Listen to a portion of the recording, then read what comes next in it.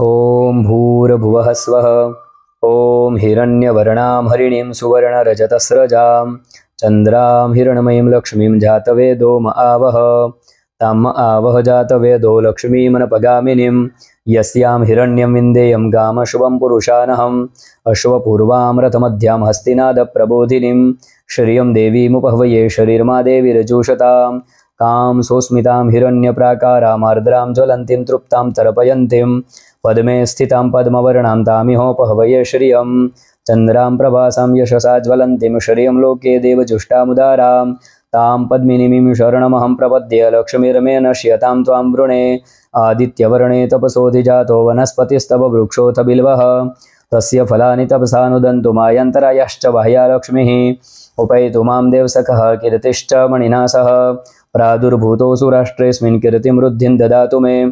क्षुत्पिपासामलां ज्येष्ठाम लक्ष्मीं नाशयाम्यहम्। अभूतिम समृद्धिं च सर्वां निरुणद मे गृहात्।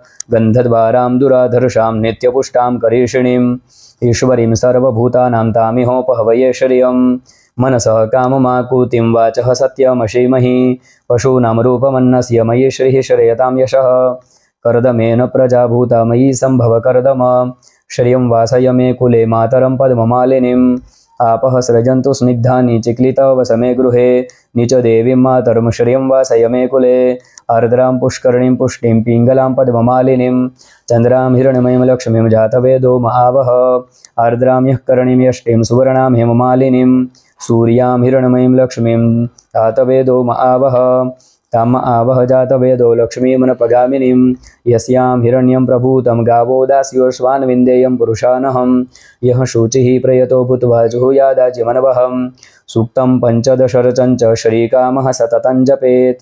श्रीकामः सततं जपेत्। ॐ श्रीं ह्रीं श्रीं कमले कमलालये।